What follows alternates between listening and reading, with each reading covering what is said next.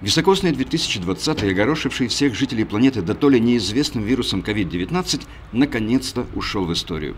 Связано ли это с повсеместными карантинами и режимами так называемой самоизоляции, но, по словам начальника пожарно-спасательной части номер 52 Ивана Оводова, за истекший 2020 год на территории нашего города и района наблюдалось устойчивое снижение числа пожаров и связанных с ними травматизма и гибели людей. Так, за истекший период 2020 года было, произошло 270 пожаров, в аналогичном периоде 274, при которых погибло 2 человека. В прошлом периоде 9 человек. Травмирована осталась цифра та же. Данная статистика показывает наглядный положительный результат проведенных комплексов профилактических мероприятий по обеспечению пожарной безопасности. Также хорошую роль играют подворовые обходы, с инструктажом населения и вручение, вручение памятки профилактических мероприятий, а также действия, э, действий личных людей при пожарах. Также анализ обстановки с пожаром на территории Ярского района показывает, что основные пожары возникали в частном секторе. Э, это горение жилых и заброшенных домов, горение бань и также хозяйственных построек. Основные причины возникновения пожаров – это неисправное печное отопление – и неисправная электропроводка. Как рассказал Иван Оводов, широко распространенное мнение, что неосторожное обращение с огнем при курении отдельных малосознательных и зачастую нетрезвых граждан также является одной из основных причин возникающих в жилом секторе пожаров, ушедший 2020 год практически не подтвердил.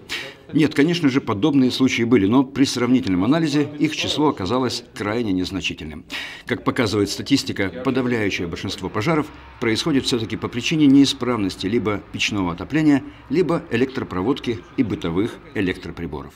Поэтому собственникам э, и жильцам жилых домов, имеющих печное отопление, необходимо своевременно, периодически проверять свою печь, дымоход, вычищать сажу, проверять наличие трещин, также замазывать их сразу. Запрещается использовать электропровода, имеющие видимые э, повреждения. Кроме этого, говорит Ивановодов, категорически запрещается перегружать электросеть, одновременно подключая к ней сразу несколько электрообогревателей.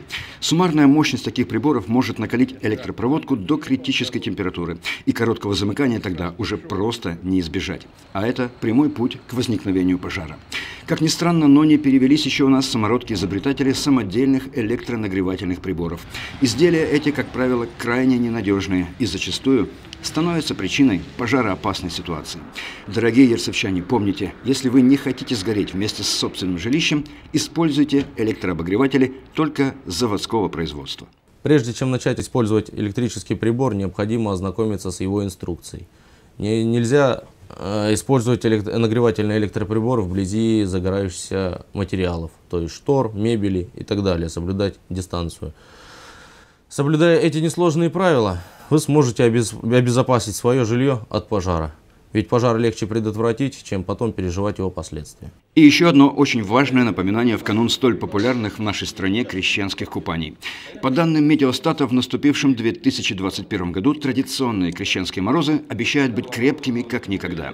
В таких погодных условиях желание проверить себя на прочность и с головой окунуться в ледяную Иордань может привести к непредсказуемым последствиям.